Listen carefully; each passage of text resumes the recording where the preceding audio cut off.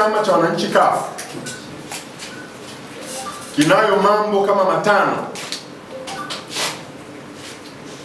ambayo kinataka kuzungumza na umma wa Tanzania. Sasa lengo la mkutano huu ni kuitaka serikali ya Jamhuri ya Muungano wa Tanzania na Watanzania kwa pamoja waweze kutengeneza tafakari kubwa ambayo italisaidia taifa letu kurejea katika misingi yake, kwa sababu taifa letu limepoteza misingi, na taifa lolote linalopoteza misingi linaingia kwenye hatari ya kuangamia. Sasa kwa sababu sisi ni chama cha siasa na hatutaki taifa letu liangamie, tunaona ipo haja ya kushirikishana na nyinyi wanahabari na Watanzania na serikali yetu ili kutoliingiza taifa letu katika maangamizo. Sasa kati ya mambo matano ambayo tunakwenda kuyazungumza, jambo la kwanza, chama chetu leo kinataka kuzungumzia uhai ndiyo haki ya kwanza ya mwanadamu. Ili haki zingine zote za mwanadamu zifanye kazi, lazima mwanadamu awe hai. Kwa hiyo mtu akisha kufa hawezi kupata haki ya kupiga kura. Marehemu hapigi kura, marehemu hatibiwi, marehemu hatoi maoni. Haki ya msingi ya kikatiba, haki ya utu, haki ya kulinda uhai wa wananchi katika Jamhuri ya Muungano wa Tanzania imepotea, na sasa hivi limekuwa ni jambo la kawaida. Hata nyinyi waandishi wa habari hamuoni ha, jambo la ajabu, yaani hamuoni jambo la ajabu tukitoka hapa mkasikia mtatiro kapigwa risasi mia. Ni jambo la kawaida. Matukio haya yamezidi, na serikali ipo na wadau tupo. Sasa kwa kifupi, pana matukio kadhaa ambayo tunataka tuwakumbushe. Kwanza, matukio ya Mkiru, Mkuranga, Kibiti, Rufiji. Pana genge la wahuni lilijitokeza maeneo hayo na kuanza kuua watu. Viongozi wa CCM takribani 17 wakauawa, vijana wetu wa jeshi la polisi wakauawa. Chama chetu mnakumbuka, kilitoka hadharani kikaitaka serikali ichukue hatua kali na ilibaini genge hili na wahusika wafikishwe kwenye vyombo vya habari. Matokeo yake mnakumbuka, operation ilikwenda kule ikafanywa na vyombo vya ulinzi na usalama. Matukio ya kinyama kabisa yakatokea huko Mkuranga, Kibiti na Rufiji. Mpaka leo, mpaka leo tunapozungumza jeshi la polisi la Jamhuri ya Muungano wa Tanzania halijatoka hadharani likaeleza Watanzania ni nani aliyekuwa akiongoza yale mauaji katika wilaya za Mkuranga, Kibiti na Rufiji. Ndugu zangu, hatuwezi kujenga taifa, hatuwezi kujenga taifa moja kama mauaji yanatokea, watu wanakufa, wanauawa kinyama, wanazikwa, vyombo vya habari vinakwenda kufanya operation, hakuna mrejesho. Mtakumbuka wabunge wetu na hata wabunge wa Chama cha Mapinduzi na wale wapinzani katika bunge lililopita mwaka jana walisisitiza kwamba iko haja ya bunge kupewa ripoti za mauaji ya Mkuranga, Rufiji na Kibiti. Mpaka leo ripoti hiyo haijatolewa na serikali kwenda bungeni. Mpaka leo bunge lilikatazwa kujadili mambo ya Mkuranga, Kibiti na Rufiji. Sasa wawakilishi wa watu ambao ni wabunge wanakatazwa kujadili mambo yanayohusu uhai wa watu wa Jamhuri ya Muungano wa Tanzania. Vyombo vya usalama vinajifanyia operesheni bubu zake, havirejeshi mrejesho kwa wananchi. Kwa hiyo leo hatujui nani alikuwa anaua watu Mkuranga, Rufiji na Kibiti, ili mtu huyo akionekana Arusha, wananchi wa Arusha wasaidie kusema yule wa Kibiti amekuja huku, yamebaki kuwa ni mambo ya ndani ya, ya, ya, ya serikali.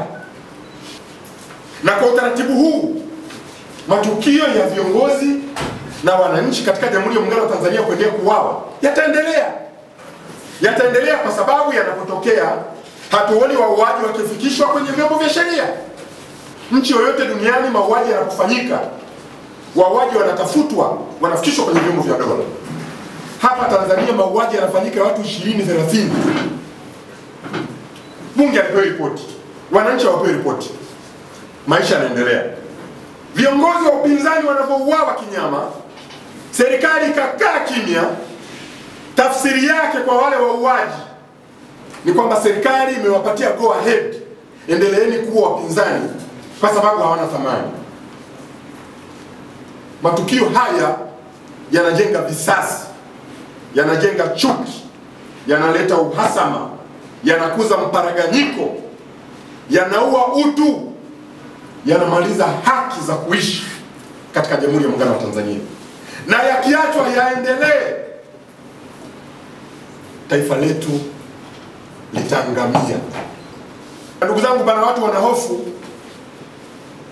tukiongelea mashambulizi dhidi ya demokrasia kwamba tutamtaja rais wetu Magufuli,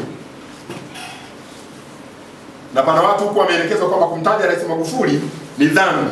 Mambo yakiharibika, uvunjaji wa kikatiba ukifanyika, uvunjaji wa sheria ukifanyika, mtu mwenye dhamana na wajibu wa kwanza ambaye tunamhoji ni rais wetu.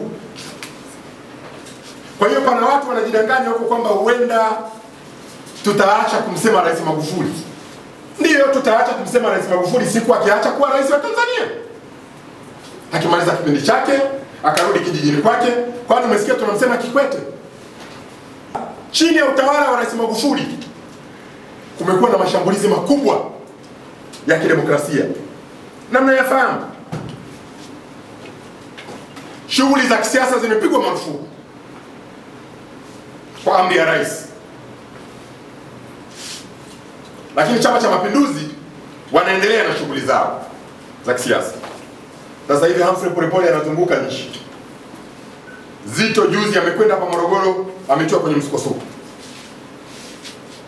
Viongozi wetu wa bunge mwaka jana walikwenda kwenye ziara fulani kusini, wakatiwa kwenye matatizo, wakakamatwa, baadaye wakaachiwa. Katibu mkuu wetu Maalim Seif Sharif Hamad amekwenda kwenye ziara kubwa kabisa mikoa ya kusini, ikazuiwa. Vikao vya ndani tu hivyo, sio mikutano ya hadhara.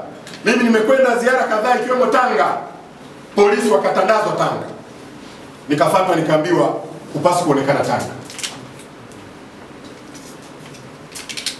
Chama cha Mapinduzi wanaendelea na shughuli zao za kisiasa, tena wao wanafanya mikutano ya hadhara wazi wazi, na wakati mwingine hata shughuli maalum zenye nidhamu yake na utaratibu wake na itifaki zake, siasa zinaingizwa. Tunakumbuka mwaka jana palikuwa na shughuli ya kijeshi pale Arusha, baadaye rais wetu, shughuli ya kijeshi, rais wetu baadaye anaanza kupokea wanachama wapya. Shughuli ya kijeshi. Unapokea wanachama wapya. Kwa hiyo serikali inaendelea na shughuli zake za kisiasa, vyama vya upinzani vimezuiwa kufanya shughuli za kisiasa, kuua vyama vingi na kutengeneza chama dola. Wamebuni mkakati wa kununua madiwani na wabunge, na mimi nataka kuwaeleza kwamba wananunua madiwani na wabunge na wananunua kwa vipande vya fedha. Wameirejesha nchi enzi za utumwa, ambapo binadamu alikuwa anapangiwa bei, anakabidhiwa bei na ananunuliwa. Leo Jamhuri ya Muungano wa Tanzania watu wananunuliwa kwa vipande vya fedha. Enzi za utumwa zimerudi. Mtumwa ananunuliwa kwa fedha ili akamtumikia bwana mpya aliyemnunua katika eneo lingine.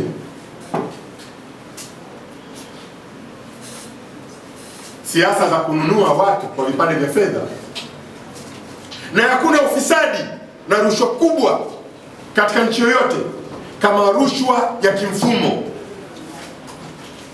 system corruption. mpaka sasa chama chetu kimefanya hesabu za haraka haraka na kugundua tokea utaratibu wa kununua madiwani na wabunge umeanza, taifa letu limepoteza takriban shilingi bilioni kumi 10 bilioni kwa ajili ya kununua wanasiasa, na sisi tunataka kumwonya rais na serikali yake kwamba vitendo hivi vya double standard na upendeleo vikiendelea, tutaingiza nchi yetu kwenye matatizo makubwa kabisa. Mfano mwingine, rais wa double standard, mliona juzi Babusea na wenzake. Mimi ni shabiki mzuri wa Babu Babusea Babu Seya na mwenzake na mwanaye wakapewa msamaha wa rais, ni kwa mujibu wa sheria na katiba yetu. Wale walikuwa na hatia ya ubakaji wakakutwa na hatia na mahakama ya chini, wakakata rufaa kwenda mahakama ya juu, wakakutwa na hatia, wakaenda juu zaidi, wakakutwa na hatia. Walikuwa wanatumikia vifungo vyao virefu magerezani, rais amewapatia dhamana. Watu waliokutwa na hatia, rais amewapatia msamaha. Kwanza tunatoa wito kwa wananchi wote kubeba jukumu la kuikosoa serikali yao, kuikumbusha serikali majukumu yake, kuishauri serikali yao. Jamani Watanzania, hili sio jukumu la viongozi wa vyama vya siasa na wanasiasa. Jukumu na wajibu wa kwanza wa raia wa nchi yoyote ni kufuatilia utendaji wa serikali yao na kudai haki zao.